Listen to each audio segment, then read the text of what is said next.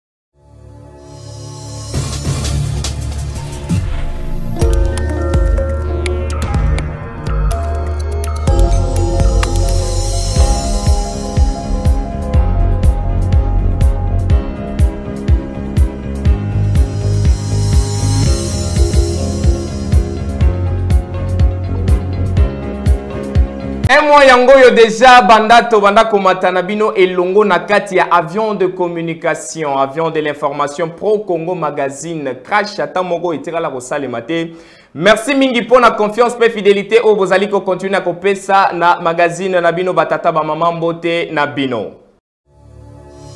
tofongola edition ya pokwa lelo mpo na koyebisa bino ke le speaker ya chambre basse ya parlement christophe mboso nkodia ayambaki na kabine na ye ya mosala ambassadeur russe oyo azalaki accompagné na mike hammer ambassadeur ya états-unis bayebaki bongo kobeta masolo na oyo etali Désignation ya ba nouveau animateur ya CENI. Bolanda commentaire ya Patricia Mananga. Double audience mpo na prezida ya Assemblée nationale Mbosoko Diampuanga wapi epai asololaki na Mike Hammer, ambassadeur ya États-Unis awa na kati ya République démocratique du Congo mpe Alexei Sentop, ambassadeur ya Russie na kati ya masolo na bango ezalaki kaka evolution ya processus ya ba futur animateur ya CENI mpe evolution ya processus electoral na bobimi na bango na biro ya speaker ya chambre basse mike amer atalisi ke masolo oyo ezalaki mingimingi mpo na koluka consensus na oyo etali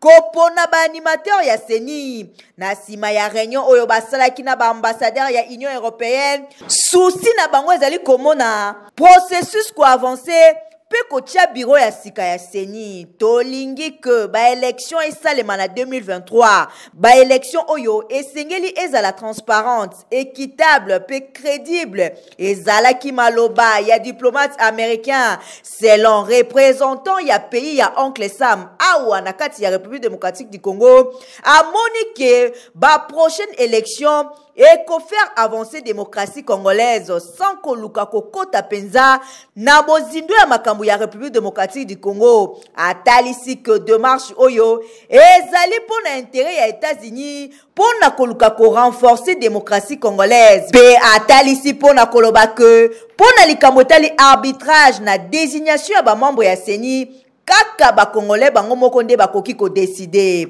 na ngambo na ye alexei ambassadeur russe alobi ke rencontre oyo ezalaki kaka na cadre moko diplomatique tobanzi ke ekozala kaka bongo likambo ya bacongolais botikela kaka bacongolais nde badeside yango tolobi totikala kaka na dossier oyo etali designation ya ba nouveau animateur ya commission électorale nationale indépendante mpo na koyebisa bino ke boyokani bojali kaka te kati na banganga nzambe tala ntina eglise du kristo congo mpe eglise catholique bazali toujours kocontinue na koboya kandida oyo basi confession religieuse bapropose Ba commentaire na element oyo. Consensus ezali kaka trouver te na likambo etali kopona mutu oyo akokamba seni. En tout cas ezali kosala pasi pe mawa komona bokabwani oyo ezali korenye entre baconfession religieuse oyo esengelaki na bango koyokana sur choix ya baanimateur ya seni na boye atako assemblée nationale ya mboso kodia mpwanga ekatelaki bango mondelo ya 72 heures mpo basolola mpo baluka koyokana kasi yango eabutira ata na eloko moko te kutu abe shole president ya baconfession religieuse alekanaki na chaîne moko ya place mpo na koloba ke kandidature ya denis kadima ezalaki akompagne na proposition ya corruption oyo ezalaki denonse epai ya bachef ya baconfession religieuse mosusu nzoka nde na kati na bango Bamosusu bachangeaki deja camp mpo na kondima kanyaka oyo. Abakisi mpo na koloba ke baartea politike mosusu bakendaki koluka bango c'est-à-dire senko mpe ecc mpo na kosenga bango batya na se basabstenir na likambo oyo mpo kandida wana azali ya chef. Abe Shole mpo na ye alobi ke bango baza na problème ya chef te kasi balingi kaka kogarantir baélection moko crédible mpe transparente bosimba ke soki boyokani eza kaka te bakoluka kopona kandida mosusu selon loi congolaise na boye likambo oyo ya kozanga boyokani ezali kosouleve mpenza balangi ebele lokola ya jean-pierre bemba gombo ya mlc wapi epai asengi na baconfession religieuse ba se surpasser na tina ya koluka consensus ya designation ya futur president ya CENI. En tout cas likambo ya designation ya banimateur ya CENI oyo alire ekomi kozwa par rapport ya temps toza koyoka deja solo ya dialogue dossier oyo eza à suivre. Encore une fois, séance plénière oyo esengelaki eyamba Augustin Kibasa Maliba, ministre petentique, mpo na kokende kopesa biyano na mituna ya badepute nationaux na oyo etali dossier ya RAM. Ezali encore reporté mpo na une date ultérieure. Badetail na commentaire oyo bolanda. awa ekomi kaka report na report o oh, ekozala lelo moke moke o oh, ekozala lisusu lelo te ekomi lobi kuna mm, ya boye ekomi kotinda nsolo ya twila mwisi ya zaza direction générale ya migration bofungola miso Pour la deuxième fois, Boeba que séance plénière oyo ezalaki prévue pour ce mercredi 6 octobre 2021 wapi epai ministre ya petentique Augustin Kibasa Maliba azalaki tellement attendu pour que akende kopesa biyano na liboke ya mituna oyo ba elu du peuple bamamaki ye concernant dossier ya taxe ram boyeba ke ezali lisusu reporte à une date ultérieure veut dire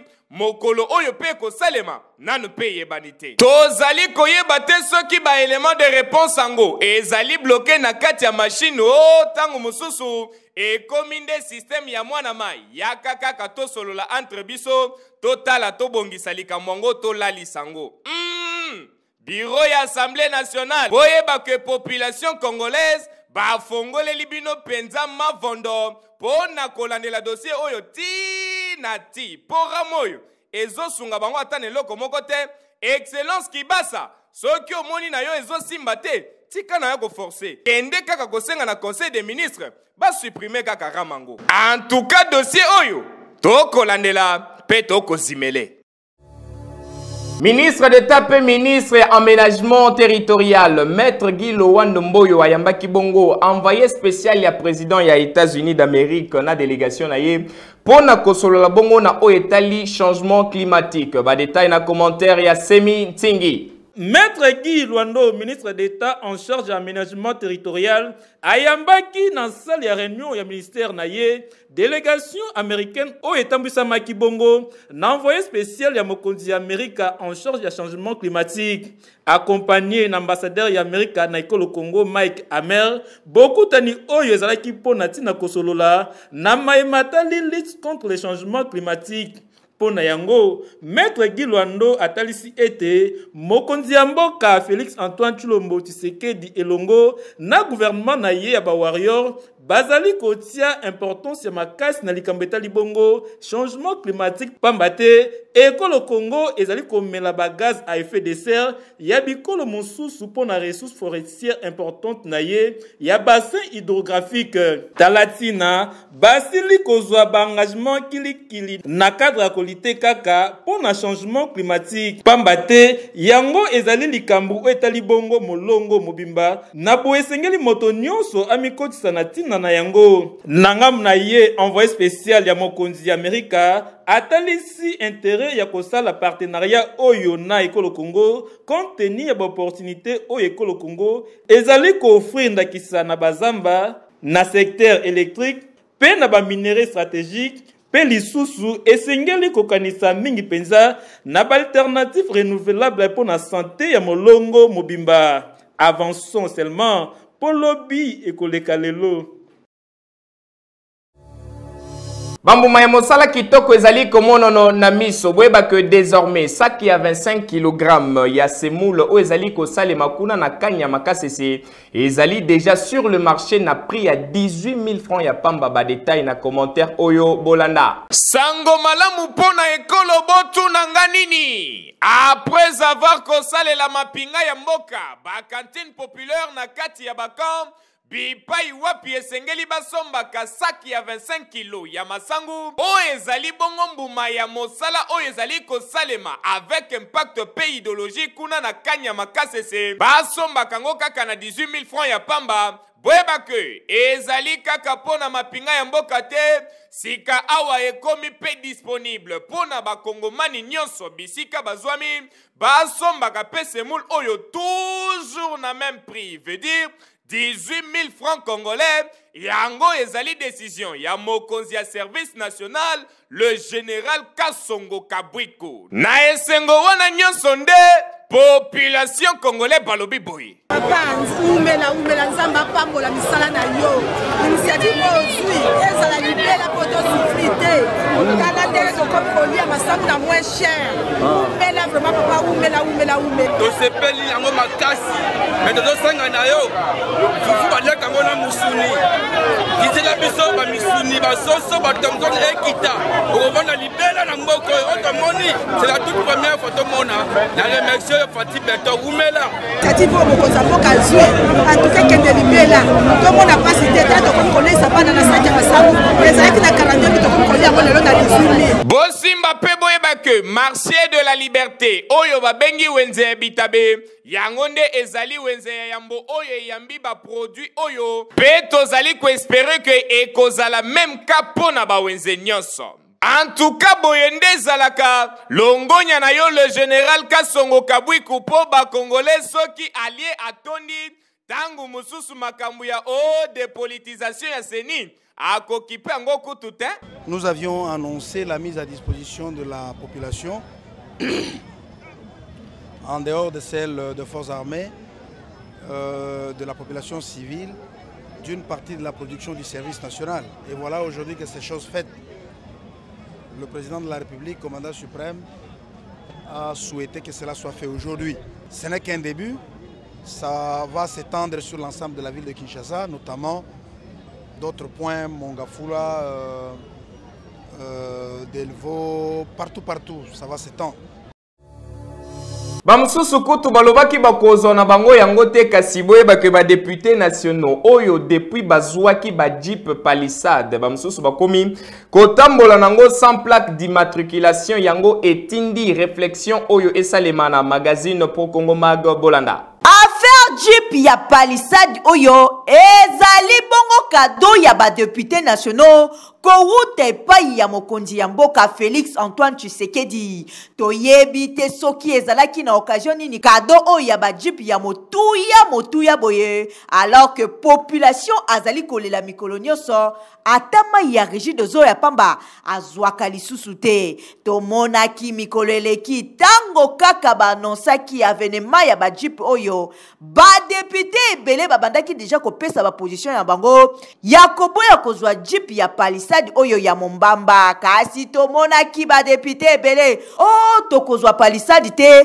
population azali kosouffrir mpe ti lelo tomoni ata moko te koboya to mpe kozongisa jipe oyo kutu bamosusu baza kosalela yango publicité na kokangisaka bafoto tala ndenge abeti fase e eh, kokamwa hein? ba mosusu mpo na bango balobi ke eza kado basala nini kado baboyaka te ya kokamwa makasi eza ke bakomi kotambola na yango kaka ndenge wana sans plaque d'immatriculation ni kofuta bavignette kutu la polise esi ebendaki bango matoi na nzela ya président assemblée nationale mboso kodia mpwanga Kasi bateti bayokaki kaka te. Tala ndenge si bakangi 5 palissade eza awa na inspection provinciale ya polisi ya ville ya Kinshasa oyo ekumbamaka epai ya general Silvano Kasongo etalisi que nul n'est au-dessus de la loi. Eh, ba ono, ono, honorable esengeli bozala exemple mpenza monene mpo na population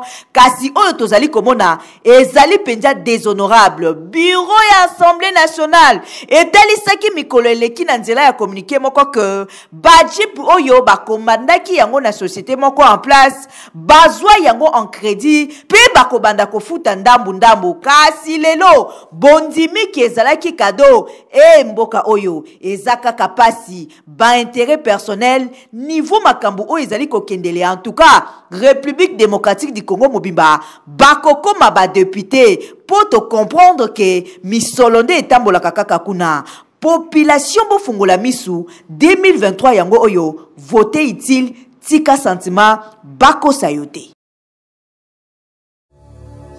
Azalaki à la tête ya une très grande délégation ya ba chef coutumier. Le gouverneur ya Okatanga Jacques Yabula Katwe abemaki bango bongo epai ya le premier ministre Jean-Michel Sama Lukonde bipai wapi basololaki makambo ya ndenge na ndenge ba détail bolanda na commentaire oyo. Ezalaki bongo vers le soir ya mokolo ya mardi 5 octobre 2021 nde le premier citoyen ya province ya Okatanga Jacques Yabula Katwe accompagné na grande équipe ya ba chef coutumier ya Grand Katanga bayambamaki kitoko epai ya le premier ministre chef du gouvernement Jean-Michel Sama Lukonde wapi epai babetaki bongo masolo ya ndenge na ndenge na yango na kobima na bango boyeba que le grand chef Kaponda ayanolaki na mituna ya bapanzi sango na koloba ete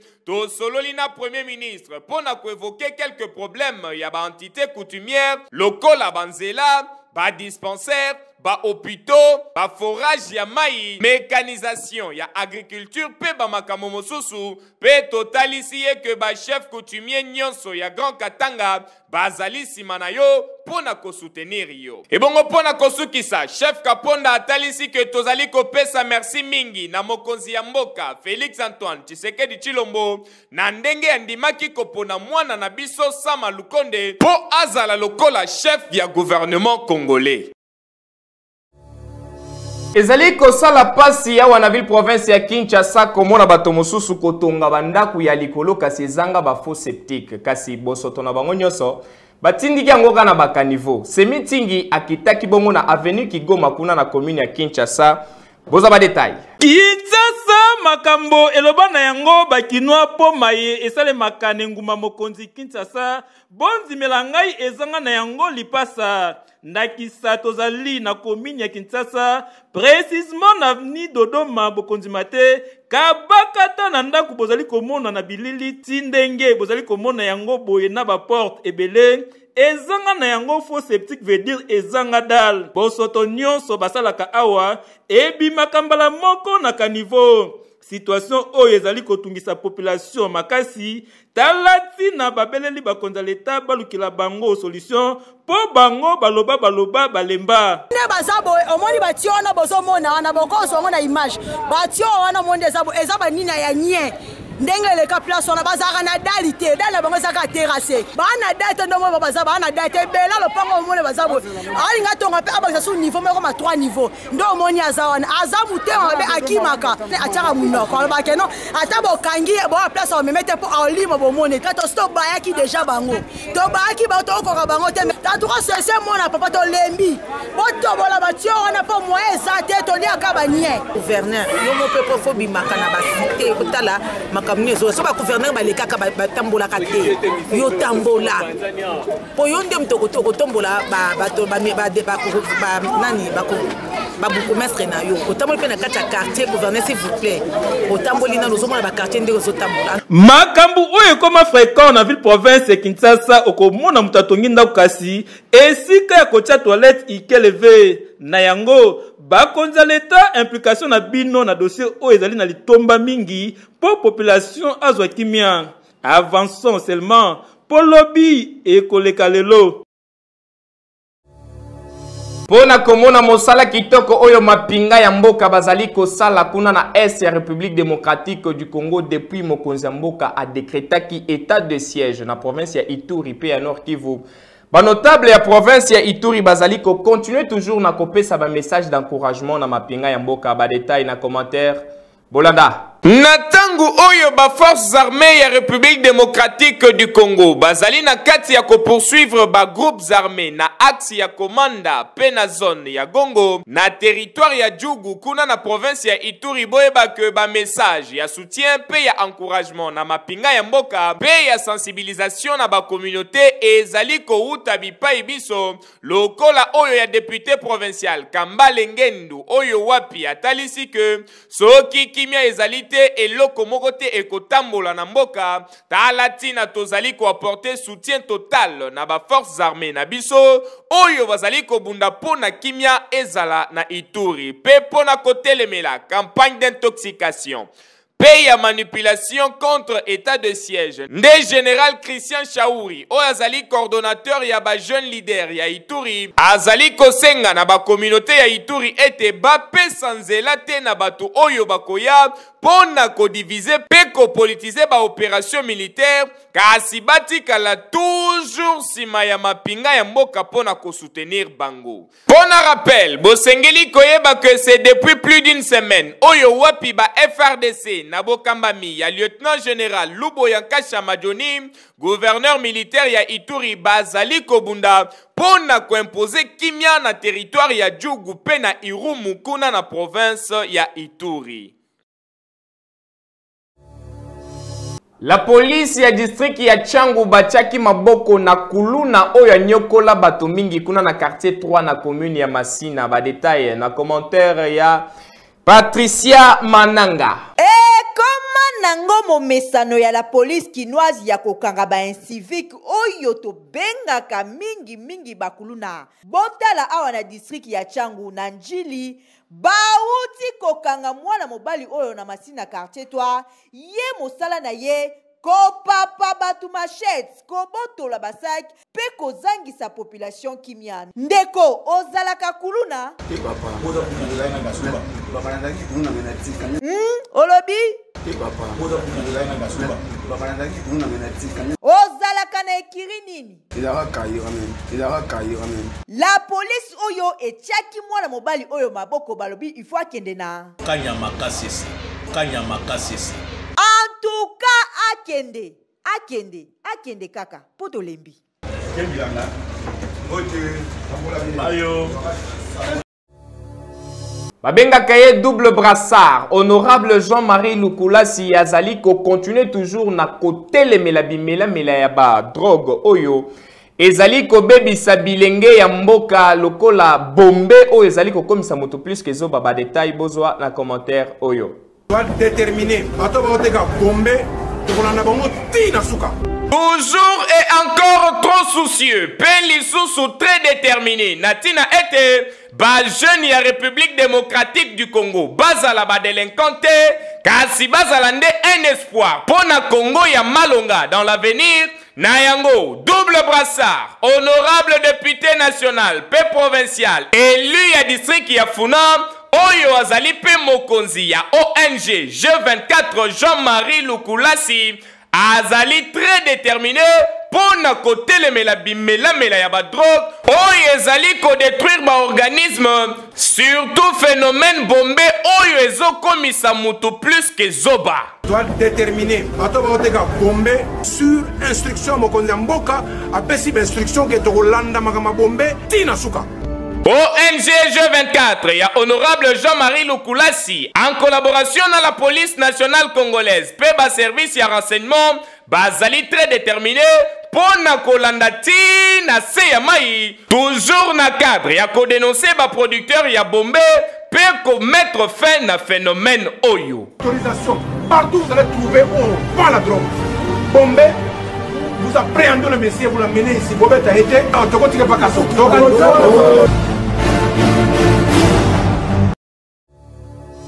mwana oyo ya 13 ans aboya na ye kikuluna aboya kimuyibi kasi amipesa na kosala babrike pour que mbongo oyo bakopesa ye esunga ye asomba ata ndambu ya biloko ya kozongela kelasi jemima katembo azalaki sur place mpo na compte ya procongo maga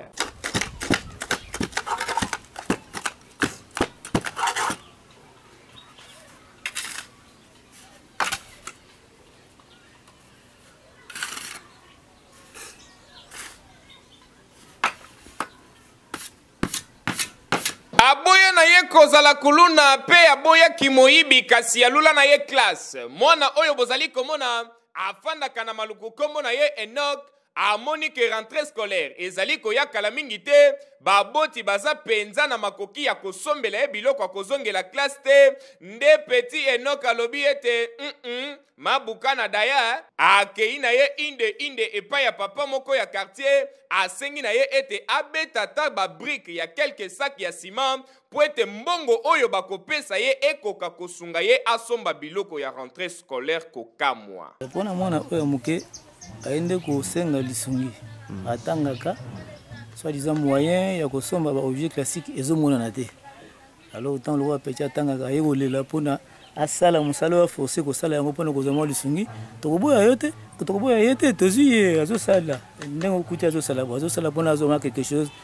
ya kosomba objet classique mpona rentrée scolaire okomona nga enoki eh, natangaka naza age ya 13 ans na classe 6 ya bale yango nabeta bwiki mpo nasomba bakaye mpo nasomba na babiki mpo nasomba na bauniforme yango yango nabeta babwiki naza mama moboti mpasi wana nde esali nga alobi mama nalingi nakoma kuluna te nalingi koyiba te okosunga nga ata de saki ya nsima nabeta prike mpo nasala rentrée scolaire papa na okoboya mwana te aza mwana oyo biso bamama toboti yango wana omoni azosala mosala oyo mpo esunga ye ata asomba 3 kaye na biki uniforme nayebi te soki akozwa uniforme ndenge nini kasi selon ba information tozwi sur place petit enok asalaka na ye cop oyo toujours na système ya kalai ngangu kalai technique Heure moko asungi ba leki na ye na palais, mwa mbwenge emonani balali mpe journee eleki. En tout cas mwana ya boye azali ko meriter soutien mpe assistance mpo na koluka ko orienter ye selon ba talents oyo azali nango.